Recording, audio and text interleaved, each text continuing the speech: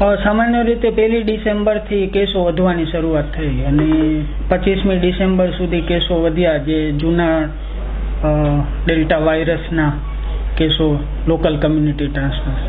પચીસ ડિસેમ્બર પછી ઓમિક્રોનના કેસીસ વધવાની શરૂઆત થઈ. સમગ્ર દેશ અને સ્ટેટ અને સાથે સાથે.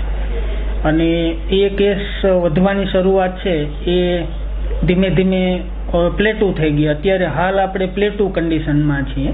અને નીચે તરફ જવાની શરૂઆત થઈ ગઈ છે.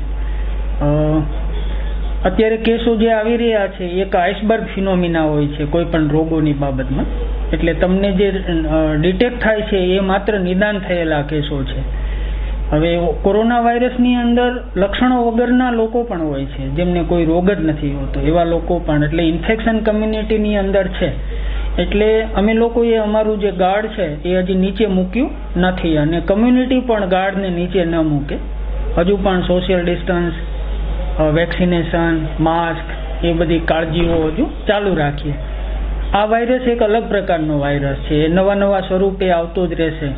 અને વાયરસની ટ્રેન જેટલા જેટલા નવા વાયરસ આવ્યા, એ આ રીતે જ થાય છે. સૌથી પહેલાં ગ્લોબની અંદર ઇન્ફ્લુએન્ઝાનો આપણી પાસે અનુભવ છે. આખા વિશ્વમાં ફેલાયો ને પછી ધીમે ધીમે એ ડાઉન તરફ ગયો. કોરોના વાયરસ પણ સેમ પેટર્ન ઉપર જઈ રહ્યો છે. આશાનું સારું કિરણ છે, પણ વેક્સિનેશન સૌથી મહત્વનું છે. આ વખતે આપણે મૃત્યુઓથી બચી ગયા હોઈએ, તો એનું એકમાત્ર કારણ જે છે એ વેક્સિનેશન છે. કચ્છ જિલ્લાનું રસીકરણની કામગીરી ખૂબ જ સારી છે. જે લોકો હોસ્પિટલોમાં દાખલ થયા અને કેસ ડિટેક્ટ થયા, એમાંથી હોસ્પિટલમાં જે દાખલ થયા, એમાંથી સોમાંથી પાંચ સાત જણા જ એવા હતા જેમણે રસી નથી લીધી અને એ પણ એ લોકોની કોઈ ગંભીર બીમારીઓના કારણે. બાકીના બધા વેક્સિનેશન વાળા જ આવતા હતા. તો એ હજુ પણ કોઈ બાકી હોય, એ રસી લઈ લે અને માસ્કમાં ટ્રિપલ લેયર માસ્ક છે પબ્લિક ગેધરિંગ વખતે ખાસ. એ આપણે બે કાળજી જો લઈએ, તો આવનારા દિવસોમાં આપણે આને કાયમી દેશવટો આપી શકીએ. એક હજાર બસો અઠ્યાસી એક્ટિવ કેસ છે. એમાંથી માત્ર અઢાર દર્દીઓ છે એ દાખલ છે.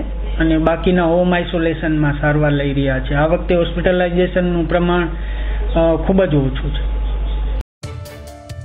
સતત ચોવીસ કલાક સમાચાર જોવા માટે ડાઉનલોડ કરો ઈટીવી ભારત એપ